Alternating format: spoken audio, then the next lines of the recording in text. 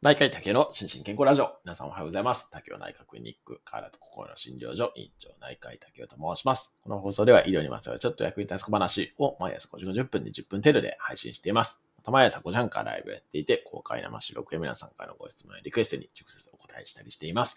アフタートークも人気です。ぜひご参加ください。ということで、えー毎週日曜日や医師国家試験にチャレンジシリーズですけれども、ちょっと今日はね、問題文が長い、かつ超難問ですね。えースーパーウルトラ C 難度ぐらいのあの問題ですので、ぜひ最後まで頑張ってお付き合いいただきたいと思いますし、あとはちょっとこの問題をね、選んだ意図をね、最後に言いますので、ぜひ最後まで一緒にチャレンジしていただけたらと思います。はい。ちょっと問題文が長いです。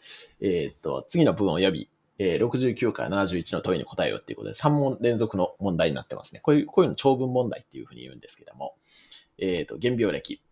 2週間前から老作時、老作時ってあの動くときってことですね。に胸部の不快感を自覚するようになり受診したっていうことで、えー起用歴ですね。まあ今までの病気ですけども、61歳時に糖尿病、65歳時に高血圧症、高尿酸血症と診断され内服加療中、えー76歳時に肺炎で入院加療を受けた。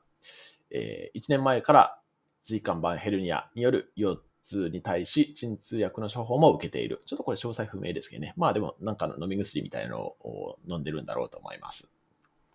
腰痛のために運動量の減少に伴い、最近は筋肉量の減少も指摘されていたというような起用歴です。で生活歴、え80歳の夫と2人暮らし、えー喫煙は24歳から20本を、1日20本を37年間、飲酒は機械飲酒ですね。だから現在は禁煙していて、でも喫煙歴がかなりあるという方ですね。えー家族歴、父親が70歳時に心不全で死亡。えーっと、現象ですね。あ現象ってね、これ多分聞き慣れない言葉だと思いますけれども、その、まあ、要は身体診察ですね。体の診察をしてどうかっていうことなんですけれども、えー意識は生命ですね。まあ、はっきりしている。身長が154センチ、体重41キロ、えー体温35度8分、脈拍84パーフン、正。あ、正ってその、えっ、と、ピッピッピってあの、不正じゃないってことですね。えっ、と、血圧142の88、えー呼吸数16、あ、1分間で16ですね。えー SPO2 ってこれサチュレーションっていうやつですけど、酸素飽和度ですね。が、あルームエアって普通の室内気、酸素とか吸っていない状態で96%っていうことですね。で、えー眼筋結膜に異常を認めない、形状脈の土壌を認めない。ちょっとこの辺ね、説明し出すと非常に長くなるんでやめときます。あの、アフタートークでやります。えー、胸骨三円大三六間を最強、最強点とするレバイン6分の2度の収縮雑音を聴取する。えー呼吸音に異常を認めない。えー腹部は平坦なんで、えー肝、脾を触知しない。えー左側肺動脈は触知が不良で霊感を認めるっていうことですね。はい。まあ、この辺もね、ちょっと説明し出すとすごい長くなるんで、もうちょっと先急ぎます。はい。で、検査所見ですね。えー尿所見。タンパク2プラス、鮮血マイナス、糖マイナス。えー尿タンパク1日 1.5g ですね。えーこれ多いんですけど、正常を超えてます。はい。えー血液所見。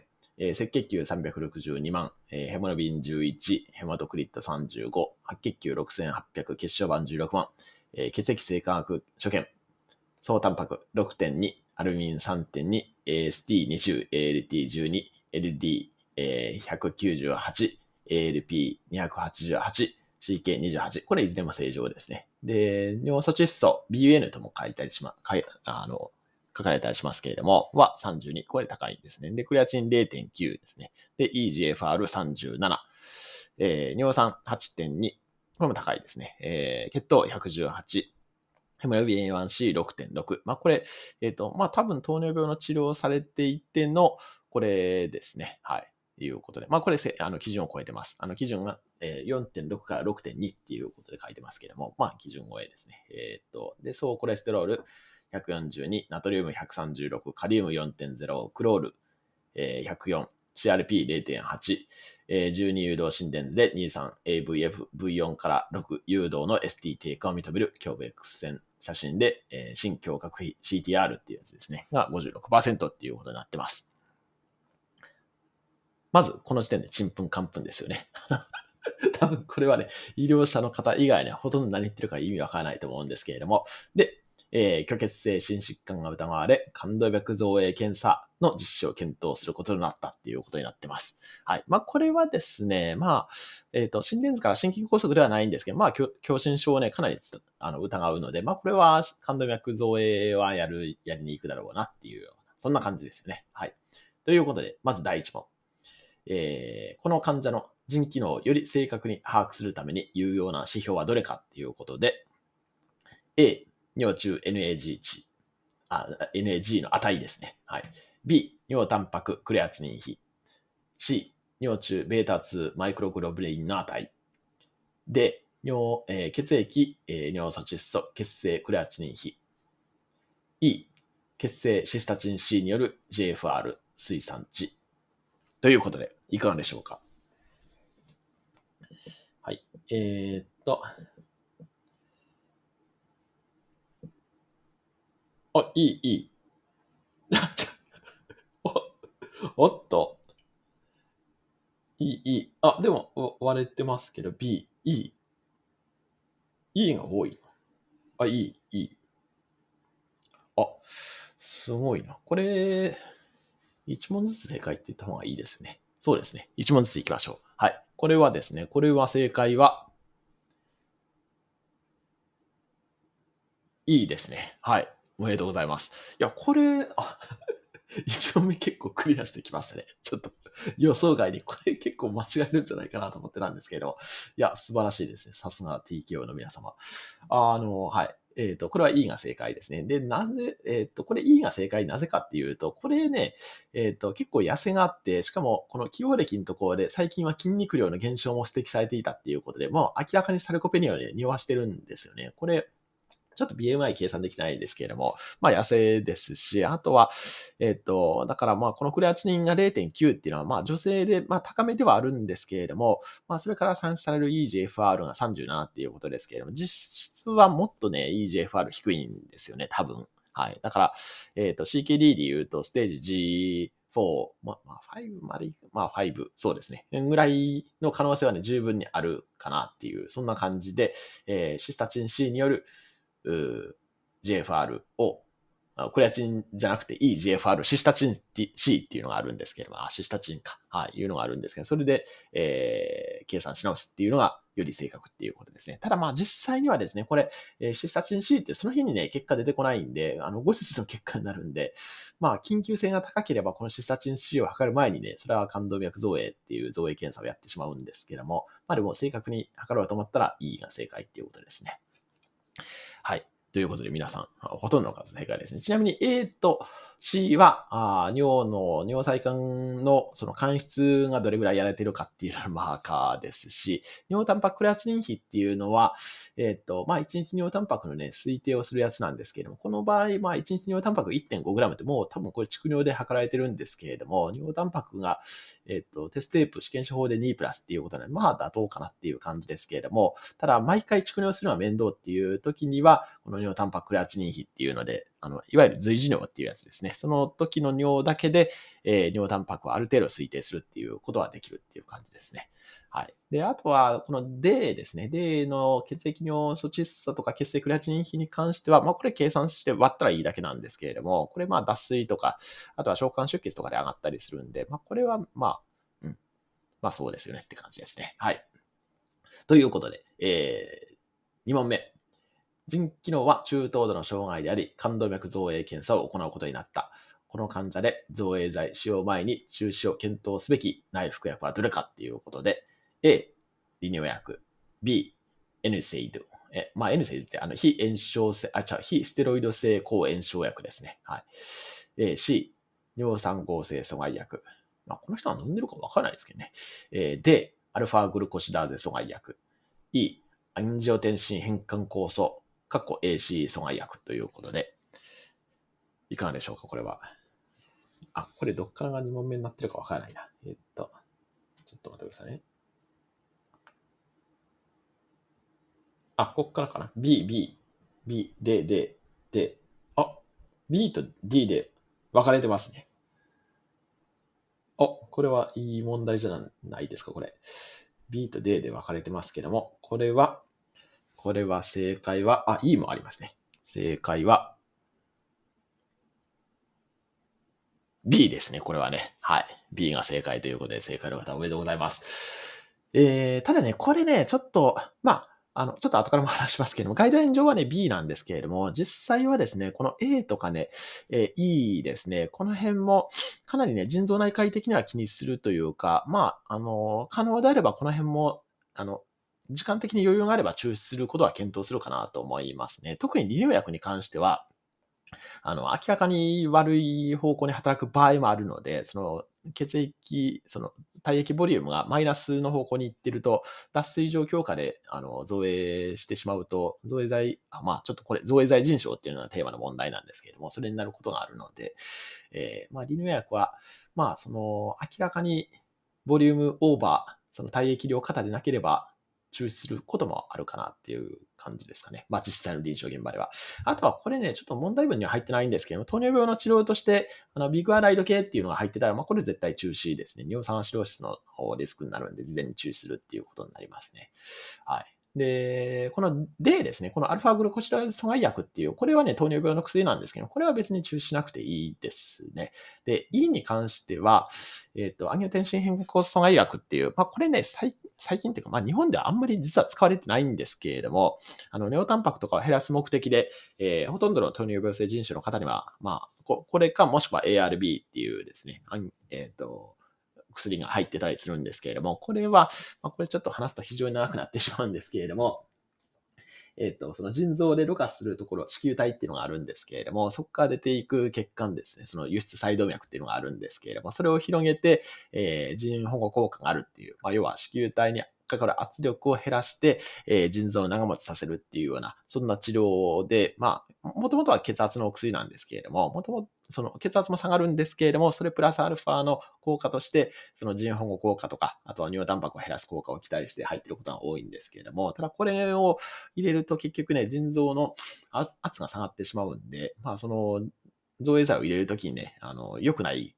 可能性があるっていうので、まあ、これガイドラインの中にも書いてありましたけれども、はい。まあだからこれはね、まあ一時的に中止は検討しうるかなっていう感じですけれども、でも圧倒的に良くないのは N セイズですね。この消炎鎮痛剤ですね。えー、特に、えー、っと、これ、まあちょっとなん、まあ、L セイズが入ってるかどうか、まあ、そもそも書いてないですけれども、まあ、入ってるんであれば絶対中止するっていう、そんな感じですね。はい。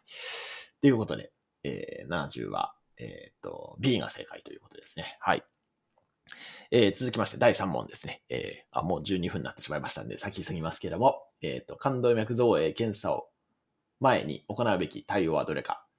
A、血液透析。B、スタチン内服。C、えー、生理食塩水、ちゃう、生理食、ん？生理食塩液点滴常駐。D、ドーパミン点滴常駐。E、人、心房、利尿ペプチド、ハンプですね、の点滴常駐ということで、はい、いかがでしょうか、これは。えー、っと、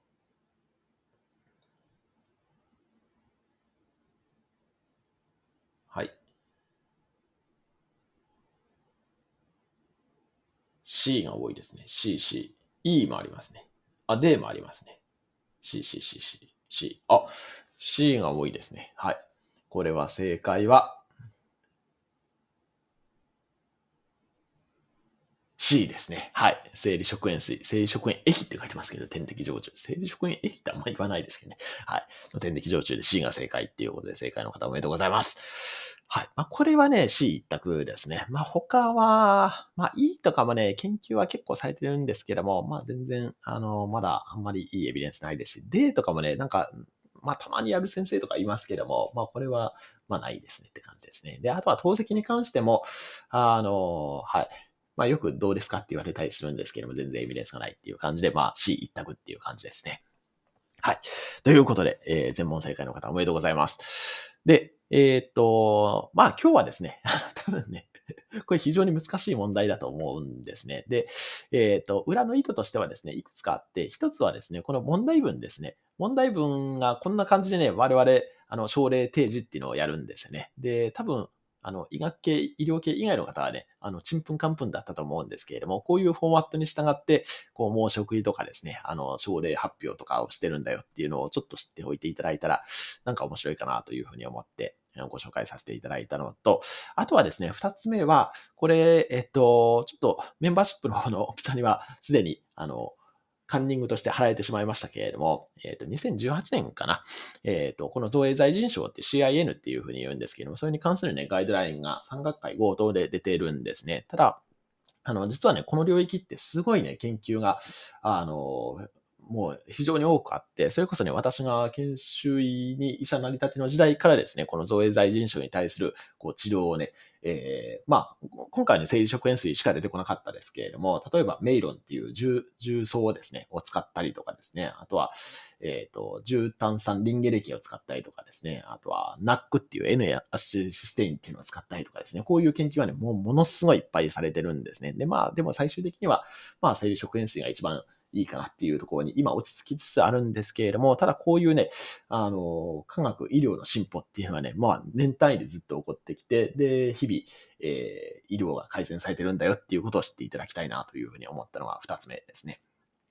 で、三つ目としてはですね、これもね、すごいよく聞かれるっていうか、研修医とかからよく聞かれるんですけれども、例えば、まあ、今回はね、クレアチニン、えっ、ー、と、0.8ぐらいでしたけれども、クレアチニン5の人がですね、えー、救急外来に来て心筋梗塞を疑う疑いますと。そういうシチュエーションですっていうことで、で、腎臓内科医に、えー、この人造影していいですかっていうようなあ質問されることってしばしばあるんですけれども、それは問答無用でありますね。はい。で、これはですね、まあ、医療では、あの、どっちをとっても、副作用というか、あの、良くない可能性があることはあるんですよね。なんですけれども、心筋梗塞を放っておくとそれだけで死んでしまったりするんで、えー、場合によってですね。はい。なので、その時には、あの、腎臓が悪くなるリスクですね。その造影剤腎症によるリスクはあるんですけれども、これはもう造影するっていうのの一択なんですね。で、えー、ただまあ、その造影剤のね、あのー、量を減らすとかですね、まあその辺は循環器内科の先生にお願いしたりとかして、まあ極力造影剤腎症を予防するような、まあもちろん、あの、できる限りの保液ですね、点滴はしますけれども、そういうのはやりますけれども、でも、そういう、まあ、どっちをとってもね、茨の道みたいなのは医療領域では非常に多くあるんだっていうこともね、知っておいていただきたいなと思って、これを取り上げました。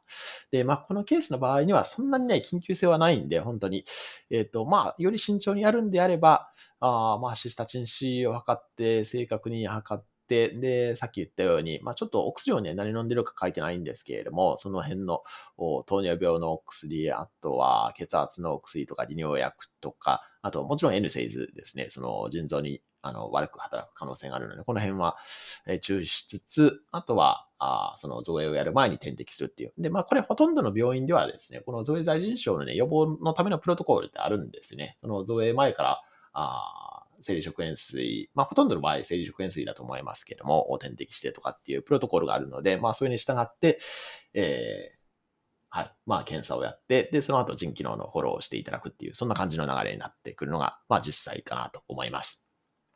はい。ということで、今日は超長くなりました。はい。今日も幸せな一日でありますように、お相手は内科医の竹でした。興味津々。